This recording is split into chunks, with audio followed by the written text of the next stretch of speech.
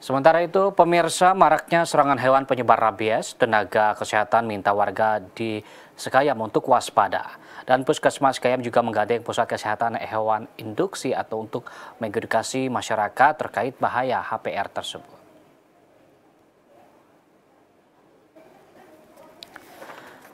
Permasyarakatan perbatasan maksud kami perbatasan rawan terhadap serangan hewan penyebar rabies masyarakat diminta untuk waspada.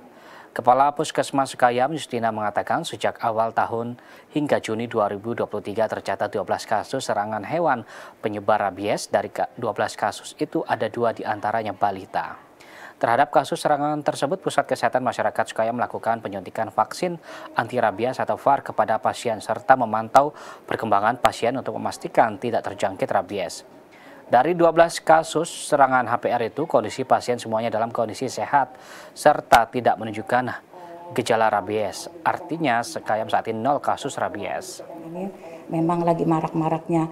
Dan di daerah kita, di Kecamatan Sekayam ini sudah ada 12 uh, gigitan hewan dan kami sudah berupaya bagaimana cara kita untuk menangani kasus-kasus tersebut dan kita sudah bekerja sama dengan Puskeswan untuk melaksanakan atau mengedukasi bagaimana setelah uh, digigit hewan uh, penanganannya dan kita sudah melaksanakan juga vaksin uh, rabies di Puskesmas Balai Karangan.